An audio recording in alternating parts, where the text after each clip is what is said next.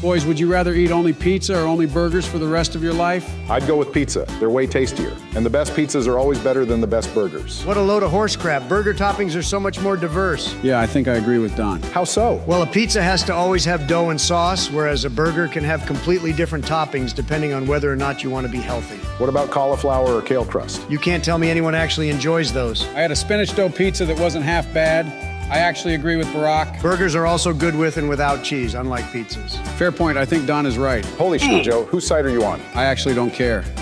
If I can't eat dessert for the rest of my life, it's going to be hell either way. Good God, Joe, you're pickier than a toddler.